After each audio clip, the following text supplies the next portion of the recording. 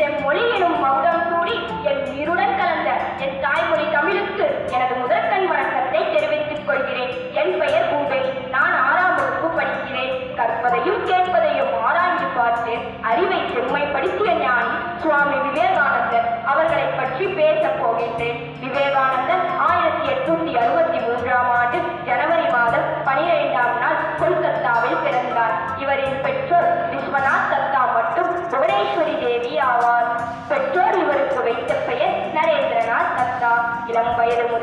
தியானம் பழகினார். குழந்தை பருவத்திலேயே தான் நினைத்ததை விடாப்பிடியாக செய்து முடித்துக் கொள்ளும் திறன் இவருக்கு இருந்தது. இளைஞர்களை மிகவும் நேசித்தவர். இளைஞர்களிடம் பெரிதும் நம்பிக்கை கொண்டவர். தம்மிடம் ஆற்றல் மிக்க நூறு இளைஞர்கள் இருந்தால் போதும். உலகத்தையே மாற்றியமைக்க முடியும் என்று இளைஞர்களை போற்றியவர். அதனால்தான் சுவாமி விவேகானந்தர் பிறந்த தினத்தை தேசிய இளைஞர்கள் தினமாக கொண்டாடுகிறோம்.